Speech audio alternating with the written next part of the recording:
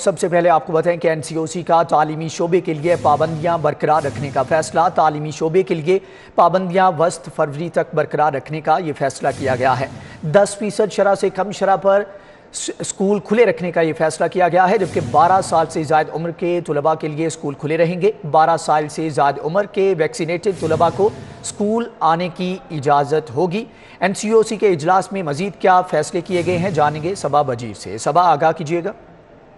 जी बिल्कुल। आज N C का तालीमी इदारों के हवाले से पाबंदियाँ रखने का फैसला जो है वो आ, किया गया है। तालीमी शोबे के लिए पाबंदियाँ जो है दस फरवरी से बरकरार रखने का फैसला जो है वो सामने आया है। एनसीओसी के मुताबिक दस फ़ीसद शरह से कम वाले शहरों में स्कूल खुले रखने का फैसला जो है वो किया गया है जबकि दस फ़ीसद से कम शरह वाले शहरों में बारह साल से ज़्यादा उम्र के तलबा के स्कूल जो हैं वो खुले रहेंगे और दस फ़ीसद से ज़्यादा शरह वाले शहरों में बारह साल से कम उम्र बच्चे जो हैं, उनकी निश्चित तादाद जो है वो स्कूल आ सकेगी। एनसीओसी के मुताबिक बारह साल से कम उम्र तलबा जो है, वो तीन दिन के लिए स्कूल आ सकेंगे और तीन दिन के बाद दोबारा वो स्कूल आएँगे, जबकि तालीमी इदारों में कोरोना एस पर अमल दरामद यकीनी बनाने के हवाले से भी इकदाम जो है वो किए गए हैं। जी।